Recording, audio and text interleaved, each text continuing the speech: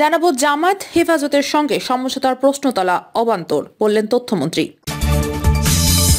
জানাব ইস্তেমায় অজুর পানি ফ্রি পলিথিনের জায়নামাজ দশ টাকা। নিরপেক্ষ নির্বাচন হলে বিএনপি ক্ষমতায় যাবে, বলছেন গয়েশ্বর। এদিকে সরকার দলের নেতারা উল্টাপাল্টা কথা বলছে, বললেন মির্জা ফখরুল। এদিকে আওয়ামী লীগ গণতন্ত্র চায় না, ক্ষমতা চায়, বলছেন গয়েশ্বর। জানাব যুক্তরাষ্ট্রের কৌশলের ফাঁদে কি বিএনপি? সরকারি দলের মদত পুষ্টদের লুটপাটের খেসারও দিচ্ছে সাধারণ জনগণ, বলছেন মান্না। এবং সর্বশেষ জানাব বিদ্যুতের দাম বাড়লে প্রতিটি পণ্যের দাম ফের বাড়বে, বললেন চরমনায় পীর। শুনছিলেন সংবাদ শিরোনাম, এবারে বিস্তারিত। জামায়াত হেফাজতের সঙ্গে সমঝোতার প্রশ্ন তোলা অবান্তর, বললেন তথ্যমন্ত্রী। তথ্যমন্ত্রী হাসান মাহমুদ বলেছেন, জামায়াত ইসলামী ও হেফাজতের সঙ্গে আওয়ামী লীগের সমঝোতার প্রশ্ন তোলা অবান্তর। তথ্যমন্ত্রী বলেন, আওয়ামী লীগ বাংলাদেশে অসাম্প্রদায়িক ও মুক্তিযুদ্ধের চেতনার প্রতীক। সে লক্ষ্যে দেশ বিনির্মাণের কাজ চলছে। বিএনপির আন্দোলন নিয়ে মন্ত্রী বলেন, হাসি ডিম পাড়ার আগে যেমন হাক ডাক করে, আন্দোলন নিয়ে বিএনপিও তেমনই হাক ডাক করছে। বিদ্যুতের দাম বাড়ানো নিয়ে তথ্যমন্ত্রী বলেন, সারা বিশ্বে বিদ্যুতের দাম যেভাবে বাড়ছে, সে হারে আমাদের দেশে বাড়ানো হয়নি। অজুর পানি ফ্রি পলিথিনের জায়নামাজে দশ টাকা। বিশ্ব ইস্তেমায় জুমার নামাজ আদায়ের জন্য জামায়াতে হয়েছেন লাখ লাখ মুসল্লি। জুমা নামাজের বাকি আছে আর কিছু সময়। নামাজের প্রস্তুতি হিসেবে পলিথিনের তৈরি জায়নামাজ সংগ্রহ করছেন তারা। আর শেষ মুহূর্তে সারছেন অজুর কাজ। অজুর পানি ফ্রিতে পেলেও পলিথিনের জায়নামাজ দশ টাকায় সংগ্রহ করতে হচ্ছে। নামাজের জন্য অজুর পানি দিচ্ছে চীনের একটি প্রতিষ্ঠান। তবে প্রতিষ্ঠানটির নাম প্রকাশ করতে অনিচ্ছুক সেখানকার কর্মী শাহন তিনি বলেন, ম্যানেজার স্যার আমাদের নির্দেশ দিয়েছেন অজুর পানি সরবরাহ করতে। আমরা তাই করছি। অন্যদিকে জায়নামাজের জন্য পলিথিন ও কাগজ বিক্রি হচ্ছে। দশ টাকা করে। নিরুপায় হয়ে কিনেছেন দূর থেকে আসা মুসল্লিরা। ইস্তেমা ময়দানে জুমার নামাজে শরিক হতে আসা শরীফ হলেন। এসব কাগজ ও পলিথিনে আমরা ফেলে দেই আর এখানে এসে দশ টাকায় কিনতে হচ্ছে। নিরপেক্ষ নির্বাচন হলে বিএনপি ক্ষমতায় যাবে, বলছেন গয়েশ্বর। বিএনপির স্থায়ী কমিটির সদস্য গয়েশ্বরচন্দ্র রায় বলেছেন, নিরপেক্ষ নির্বাচন হলে বিএনপি ক্ষমতায় যাবে। রাষ্ট্র ক্ষমতায় গেলে করণীয় নির্ধারণের জন্য রাষ্ট্র মেরামতের রূপরেখা সম্পর্কে জানতে হবে। গয়েশ্বরচন্দ্র বলেন, সাতাশ দফা রূপরেখা সম্পর্কে জানলে সেটি নিয়ে একটি মানসিক প্রস্তুতি থাকবে। দেশে প্রতিহিংসার রাজনীতি ছেয়ে গেছে মন্তব্য করে তিনি বলেন, বিএনপির দেওয়া রূপরেখায় বলা আছে, প্রতিহিংসার রাজনীতি থেকে বিরত থাকতে হবে।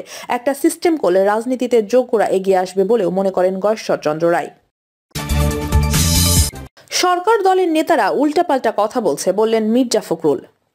নির্যাতন নিপীড়ন করে বিএনপির আন্দোলন দমনও যাবে না বলে মন্তব্য করেছেন বিএনপির মহাসচিব মির্জা ফখরুল ইসলাম আলমগীর। তিনি বলেন, এগারো জানুয়ারি বিএনপির গণ অবস্থান কর্মসূচিতে হামলা চালিয়েছে পুলিশ ও সরকার দলীয় লোকজন। হামলার পর উল্টো নেতা কর্মীদের নামে মামলা দেওয়া হচ্ছে। মির্জা ফখরুল বলেন, সরকারের পায়ের নিচে মাটি নেই। তাই চারিদিকে হামলা মামলা করছে। পতন নিকটে চলে আসায় সরকার দলের নেতারা উল্টাপাল্টা কথা বলছে বলে মন্তব্য করেন তিনি। প্রধানমন্ত্রী শেখ হাসিনা ও অবায়দুল কাদেরের বক্তব্যের সমালোচনা করে মির্জা ফখরুল বলেন, ওনারা অনেক কথাই বলেন। এসব কথার জবাব দেওয়ার প্রয়োজন মনে করি না। নির্বাচন ও ইভিএম নিয়ে বিএনপি কোনো কথা বলতে চায় না, বলেও জানান বিএনপি মহাসচিব। আগামী ষোলো জানুয়ারি দশ দফা দাবি আদায় ও বিদ্যুতের দাম বৃদ্ধির প্রতিবাদে সকল মহানগর উপজেলায় বিএনপির সমাবেশ ও বিক্ষোভ কর্মসূচির কথা জানান মির্জা ফখরুল। আওয়ামী লীগ গণতন্ত্র চায় না, ক্ষমতা চায় বলছেন গয়েশ্বর। সিলেটে বিএনপির গণ অবস্থানে বিএনপির স্থায়ী কমিটির সদস্য গয়েশ্বর চন্দ্র রায় বলেন, আওয়ামী লীগ স্বাধীনতা সার্বভৌমত্ব গণতন্ত্র চায় না। তারা শুধু ক্ষমতা চায়। বিএনপি জনগণকে নিয়ে মাঠে থাকবে। আন্দোলন সংগ্রাম চালিয়ে যাবে। বিএনপির স্থায়ী কমিটির সদস্য গয়েশ্বর চন্দ্র রায় অতীত কর্মকাণ্ডের জন্য আওয়ামী লীগকে ক্ষমতা ছেড়ে জনতার কাতারে আসার আহ্বান জানান। তিনি বলেন, সরকার ফ্যাসিবাদের যত উপকরণ আছে সব জনগণের উপর চাপিয়ে দিয়েছে। স্বাস্থ্য খাত, বিদ্যুৎ খাত সহ দেশের সকল খাতে চুরি হয়েছে। পদ্মা সেতু সহ উন্নয়ন প্রকল্পের নামে জনগণের হাজার হাজার কোটি টাকা লুটপাট করে বিদেশে পাচার করা হয়েছে। দেশের অর্থনীতিকে ধ্বংস করা হয়েছে। তিনি আরও বলেন, এই সরকারের অধীনে কোনো নির্বাচন হতে পারে না। নিরপেক্ষ নির্বাচন ছাড়া আওয়ামী লীগের অধীনে বিএনপি নির্বাচনে যাবে না। এ সময় বিদ্যুতের মূল্য বৃদ্ধির প্রস্তাবের প্রতিবাদে ও বিএনপির দশ দফা দাবি আদায়ে ষোলো জানুয়ারি দেশে ব্যাপী বিক্ষোভ সমাবেশের কর্মসূচি ঘোষণা দেন তিনি। বিএনপির যুগ্ম মহাসচিব ও সিলেট বিভাগীয় দলনেতা অ্যাডভোকেট সৈয়দ মোয়াজ্জেম হোসেন আলাল বলেন, ছাগল চুরি, গরু চুরি, কয়লা চুরি, বিদ্যুৎ চুরি, রিজার্ভ চুরি, ব্যাংক চুরি সহ সব চুরির সাথে আওয়ামী লীগ জড়িত। আওয়ামী লীগ এখন সব চোরের নিরাপদ আশ্রয়স্থল। আমরা নিত্যপণ্য, বিদ্যুৎ, তেলের, গ্যাসের দাম কমানোর জন্য বারবার বলছি। সারের দাম বাড়িয়েছে, এখন আবার বিদ্যুতের দাম বাড়াচ্ছে।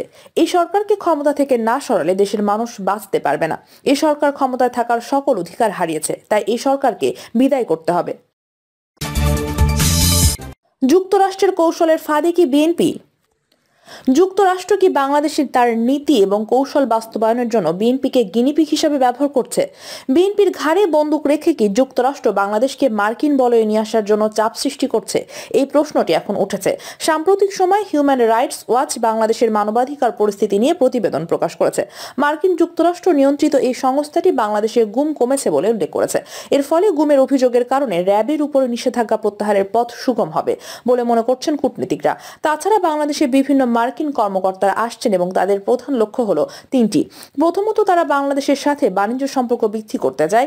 দ্বিতীয়ত তারা বাংলাদেশকে তাদের সাময়িক বলয়ে আনতে চায় এবং তৃতীয়ত বাংলাদেশ যেন কোয়াডে যোগদান করে সেটা নিশ্চিত করতে চায়।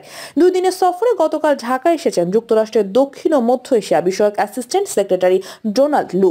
লুয়ের এই সফরের মধ্য দিয়ে বার্তাটা আরও সুস্পষ্টভাবে বলে দেবে বলে জানিয়েছে বিভিন্ন সূত্রগুলো। গত চার মাসে বাংলাদেশে অন্তত পাঁচ জন মার্কিন গুরুত্বপূর্ণ ব্যক্তি সফর করে গেছেন। এই সফরের প্রধান উদ্দেশ্য হলো কৌশলগত অবস্থান নিশ্চিত করা। আওয়ামী লীগ সরকার টানা চোদ্দ বছর ক্ষমতায় আছে এবং আওয়ামী লীগের অবস্থান সরকারের ভেতর অনেক দৃঢ়। তাছাড়া অর্থনৈতিক অবস্থা এমন যে এখন তো অর্থনৈতিকভাবে মার্কিন যুক্তরাষ্ট্র এর উপর সরকার নির্ভরশীল নয়। আর এজন্য কৌশলগত কারণে বিএনপিকে অস্ত্র হিসাবে ব্যবহার করছে মার্কিন যুক্তরাষ্ট্র, এমনটাই মনে করেন কেউ কেউ। বিএনপিকে দিয়ে এবং সুশীল সমাজকে দিয়ে আন্দোলন এবং নামে নানা রকম আলোচনা করে সরকারের উপর এক চাপ সৃষ্টি করে। গত দুই বছর ধরে মার্কিন যুক্তরাষ্ট্র বাংলাদেশকে কোয়াডে নিয়ে আসার জন্য চেষ্টা তদবির করে আছে। যদিও পররাষ্ট্রমন্ত্রী doctor A K M Abdul Momen বলেছেন, বাংলাদেশ কোনো জোটে যাবে না, কোয়াডে কোনো বাংলাদেশ যোগ দেয়, সেজন্য বাংলাদেশকে গণতন্ত্র সম্মেলন আমন্ত্রণ জানানো হয়নি। বাংলাদেশের মানবাধিকার নিয়ে সমালোচনা করা হয়েছে। এবং সে কারণেই দুই হাজার বিশ সালে ডিসেম্বরে বাংলাদেশের গুম নিয়ে সরব হয় মার্কিন যুক্তরাষ্ট্র। এই গুরুত্বপূর্ণ অভিযোগে র্যাব বের হয়ে কয়েকজন কর্মকর্তা সহ র্যাবের উপর নিষেধাজ্ঞা আরোপ করে। এই নিষেধাজ্ঞাটি আসলে মানবাধিকারের জন্য ছিল না, বরং বাংলাদেশের উপর এক ধরনের চাপ সৃষ্টির জন্য। বিভিন্ন সূত্রগুলো বলছে, সাম্প্রতিক সময়ে চীনের সঙ্গে বাংলাদেশের সম্পর্কের ফলে মার্কিন যুক্তরাষ্ট্রের প্রভাব এই অঞ্চলে কমে যাচ্ছে। আর এই কারণে চীনের সাথে সম্পর্কের লাগান যেন বাংলাদেশ টেনে ধরে, সেটিও নিশ্চিত করা তাদের লক্ষ্য। বাংলাদেশের ভূখণ্ডে মার্কিন যুক্তরাষ্ট্র যুক্তরাষ্ট্রের সামরিক কিছু কৌশলগত আগ্রহের জায়গা রয়েছে, আর সেই আগ্রহের জায়গাগুলো পূরণের জন্য এই চাপ সৃষ্টি করা হচ্ছে বলে জানা গেছে।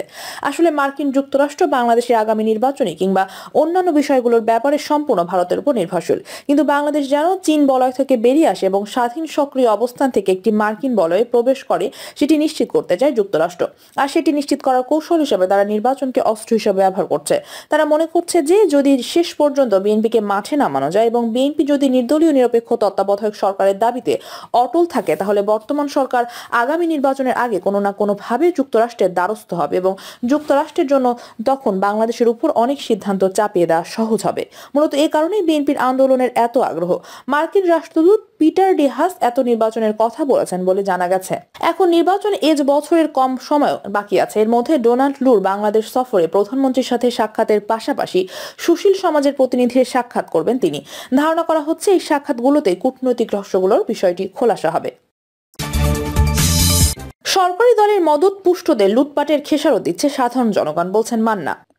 নাগরিক ঐক্যের সভাপতি মাহমুদুর রহমান মান্না বলেছেন, দেশের অর্থনীতির এই মহাসংকটের মধ্যে বিদ্যুতের মূল্যবৃদ্ধি সামগ্রিকভাবে দেশকে আরও সংকটের দিকে নিয়ে যাবে।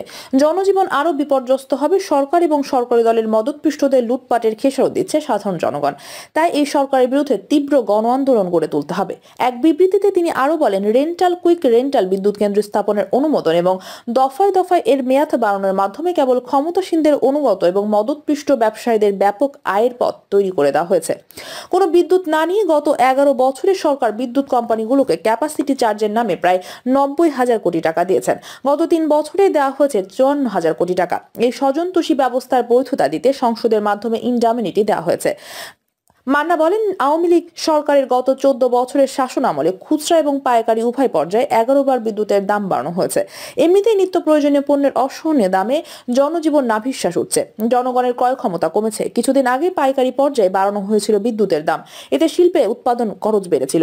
এখন ভোক্তা পর্যায়ে বাড়ানোর ফলে অতিরিক্ত খরচ সমন্বয় করতে জনগণের ক্রয় ক্ষমতা কমবে। এর প্রভাব পড়বে দেশের সামগ্রিক অর্থনীতিতে। বিদ্যুতের দাম বাড়লে প্রতিটি পণ্যের দাম ফের বাড়বে বললেন চরমনায় বীর। ইসলামী আন্দোলন বাংলাদেশের আমির চরমনায় পীর মুফতি সৈয়দ মোহাম্মদ রেজাউল করিম বলেছেন, নিত্য প্রয়োজনীয় জিনিসপত্রের দাম বৃদ্ধির কারণে দেশের মানুষ কষ্টে আছে। এর মধ্যে বিদ্যুতের দাম বাড়ানোর প্রস্তাব গ্রহণযোগ্য হতে পারে না। বিদ্যুতের দাম বাড়ানো হলে প্রতিটি পণ্যের দাম আরেক দফা বৃদ্ধি পাবে। মানুষের দুঃখ, কষ্ট লাঘব। রাজনীতিতে গুণগত পরিবর্তন প্রয়োজন উল্লেখ করে তিনি বলেন, প্রচলিত রাজনীতিতে একদল আরেক দলের কাছে নিরাপদ নয়। কিন্তু ইসলাম সকলেই নিরাপদ। এজন্য রাজনীতিতে গুণগত পরিবর্তন প্রয়োজন। হিংসা ও প্রতিহিংসার রাজনীতির কবল থেকে সকলকে বেরিয়ে আসতে হবে। কল্যাণধর্মী রাজনীতির চর্চা করতে হবে।